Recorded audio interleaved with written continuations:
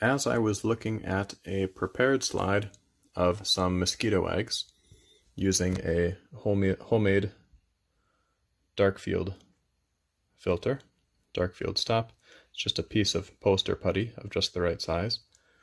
As I was looking at it, I noticed a lot of dust. Let me get that centered. See all those spots? When I moved around the slide, those spots stay in the same place. That tells me that that is dust somewhere in the optical path.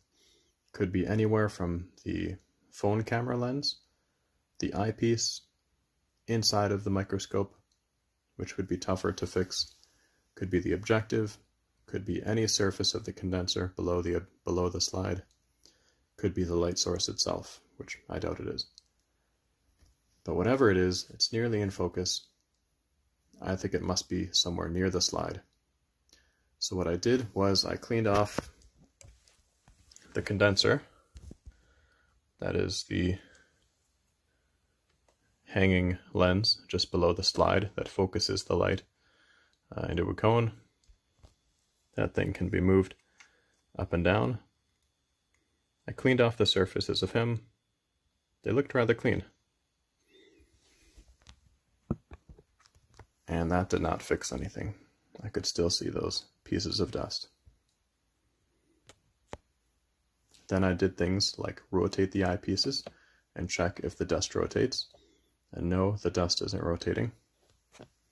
I would have to rotate the one underneath the camera lens, of course. I did that. Uh, I tried rotating the condenser, and ta-da! The dust rotates. Let me show you what I'm doing using my fingers to rotate that condenser under the slide. So yes, that tells us that the dust is on the condenser somewhere. But after cleaning the surfaces on the top and the bottom, I couldn't find the problem until I took away the slide, leaving just this dust and I brought the dust into focus. Oh no! It's not dust. These are scratches. These are a bunch of scratches. Look at all those. I thought that I was being quite careful when cleaning the lens surface of the condenser. I was using the right lint-free tissue paper I was using Q-tips and the right technique. I thought I was being careful, but it looks like either this came to me this way, which I doubt, or I somehow got some dirt or some oil on it and cleaned it with a little bit too much force, giving it scratches. I have gotten oil on it, cross-contamination from using an oil objective where you put a drop of oil on it or sorry, not objective, uh, oil condenser.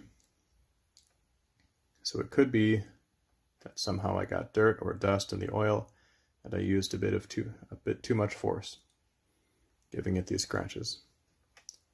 So I'll put this back in place, get the slide back in there, bring the slide back into focus. See those little dots? Those are the largest parts of the scratches, reflecting light. That's what they were. Not dust. They were the scratches. So that was fun to discover. And sad, because there's no way that I can fix it. I made a mistake. And we'll have to live with that. What I can do is either put up with these dots on the image, or I could turn off the light source and use a flashlight to give it some top illumination. Now you still see the dots because I haven't moved the condenser down far enough. There we go. I'm using a flashlight now to illuminate from above. And hey, that's okay. That might be fun to make some images this way. There we can see the light reflecting off the Blu Tack, the poster putty underneath. And you know what? I like this. So all is not lost. And this is only for the four times objective. I can switch right over to the 10 times and those scratches are far enough. Let me bring the condenser back up. There are the, you can see the scratches as their sort of image moves, and there we go. So they're far enough away that I can do this technique, this homemade dark field, with a 10 times objective. And we don't see any of those problems. I can rotate the objective, and they're so out of focus that I can hardly tell that they're there. All is not lost.